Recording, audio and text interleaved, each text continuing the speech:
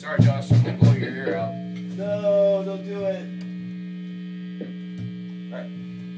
Blow it that way.